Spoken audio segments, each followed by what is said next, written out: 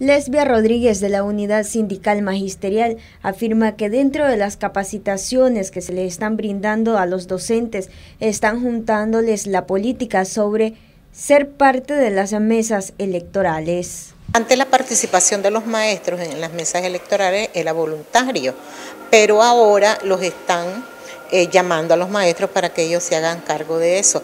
Eh, pero les están haciendo una capacitación también revuelta con la política. Y, se piensa pues que como ellos no pudieron lograr ahora entre sus seguidores este, que, eh, que, estuvieran ahí en esas mesas porque muchos han desertado, entonces ahora están ocupando a los maestros para que se hagan cargo de esto. Pero los maestros deben de tener cuidado, mucho cuidado, porque eh, eh, ellos piensan que los maestros van a, apoyar su, actividad.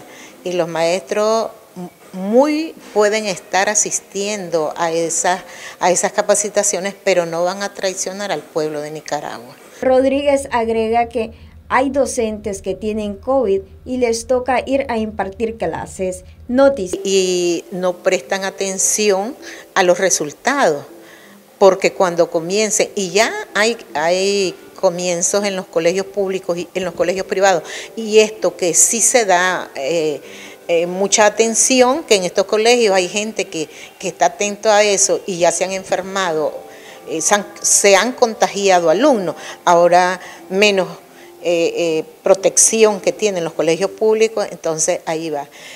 Pero ellos tratan de, tratan de disimular esto y, hablan de que la tos, que la fiebre, pero todas esas cosas son indicios de que sí están eh, eh, eh, se están contagiando.